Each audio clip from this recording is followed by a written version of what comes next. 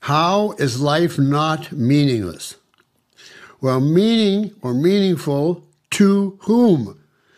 You are using meaning in that uh, question in the sense in which we ask, what is the meaning of a play? What is the meaning of uh, Othello? What is its theme? What is the message that these characters were created for? What is its ultimate purpose? That kind of question is asked only by people who believe there's a God with a plan. And when we know the plan, we'll see the quote meaning of the story. But of course, if you are an atheist and you only believe in this world, in other words, in reality, you take the view that life is a natural uh, fact.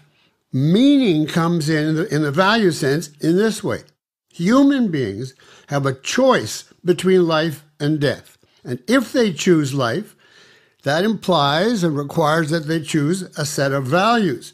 And that would include, if they're objectivist, a career, an intellectually demanding career, a sexual life, wealth, political freedom, a certain kind of art, and many other things.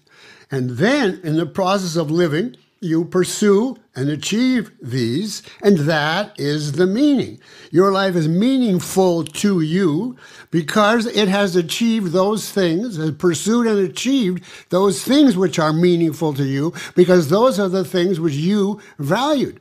So uh, that's how uh, uh, life is, is meaningful. But meaningful is a, then a selfish concept uh, in this context.